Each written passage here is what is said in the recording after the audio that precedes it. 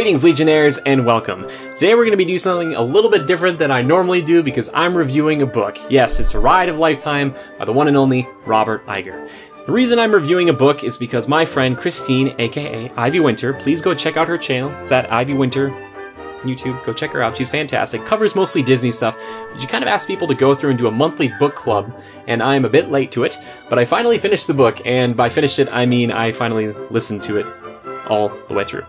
So, as with all my reviews, I'm going to do what I normally do, which is a brief, spoiler-free plot synopsis to some degree, and talk about the highlights and the shortcomings of it. So, what the heck is this book? Well, believe it or not, CEO of Disney, Robert Iger, decided to release a book talking about not only his personal rise throughout the ranks of the company, but also leadership tenets or the things he follows in order to be a good leader. So you find out where he started, which was working pretty much on these daytime soap operas and other things for ABC, and eventually now, right now, he's working as the CEO of this Fortune 500 company. Hearing about that story, well, that is exactly what you're going to get in this book. I'll start with the highlights, which for me was pretty much the whole thing. I found it fascinating. It was so cool to listen to it because in the beginning and the ending, you do get it narrated by Robert Iger. Uh, so it's kind of fun to hear him talk about it. You can tell the guy ne- doesn't necessarily want to like sit there and read his own story for eight and a half hours, and that's probably one of the reasons why he didn't actually do the whole thing. And because he's also still a CEO, this is not one of those like memoir books, so that's another fascinating concept behind it as well. I think there's a little more power in his statements because he is still the CEO and talking about what led him to be successful and then what continues to lead him to be successful. So, even if you're not a Disney fan, I think you'll enjoy one pillar of this book being what it takes to be a good leader. And that's something I'm striving to be all the time, is to be a better leader and just a better person in general. So a lot of it reinforced the things that I'm already doing, and it was nice to hear that a CEO uh, was kind of talking about that. I was like, okay, this is really. I'm glad that I'm not the only one, you know, thinking about this, and kind of hearing his humility throughout all of it uh, was was so nice to hear as well. And you know, it's it's so. I think it could be so easy, so um, so so easy to just say like, you know what? No, I'm the CEO of Disney, and everything I do is right, and everybody else is wrong. But hearing his tale, his his humbling tales, and this kind of fraught with like good and bad is really really fascinating to me.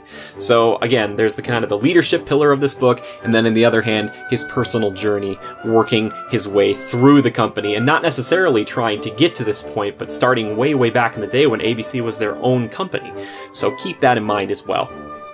As far as the shortcomings go, I don't even know what to tell you. I can't really find any. Maybe because you might not want to hear about how these acquisitions actually took place, but it's so fascinating to me to hear about these, you know, these personal stories, uh, you know, talking about Pixar and Steve Jobs and how Bob kind of formed a relationship with Steve and kind of hearing the tumultuous times of like if this was going to happen or if it wasn't going to happen. And then kind of similar thing with George Lucas, which is crazy because when I think about when I heard about Marvel getting acquired and Star Wars getting acquired, for me, it was more of like, oh yeah, Star Wars, that makes sense. That's on brand for them. They've been working with, you know, George in the past for a long, long time, and especially in the parks. Marvel was just like for me, I was like perfect because now it's like Disney is acquiring one of my favorite things, and they're probably going to do it right. And so again, that service level, here it is. But hearing all the work that went into it so fascinating. I think one of the stories I love the most is that George Lucas was more willing to talk to Bob about this because a long time ago, he Bob kept one of the shows that wasn't doing so well, which is like the Young Adventures of Indiana Jones, on for another season, an additional season.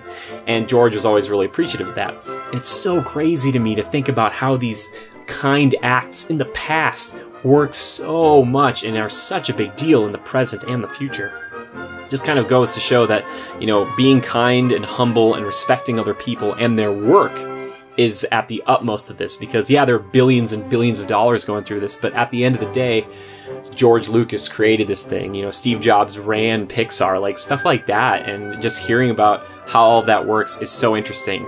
Also, I kind of just want a book of Bob's just like day to day for a full year because at the beginning of this he talks about one of his like happiest and saddest days that were like the same day and it's almost like hearing about like a president's kind of timetable where he has to he like gets up at four and works out. Then he's got like a meeting with these people at five, something else at five fifteen, something else at five thirty. At six o'clock, he's got to talk to these Chinese dignitaries. Like all this stuff.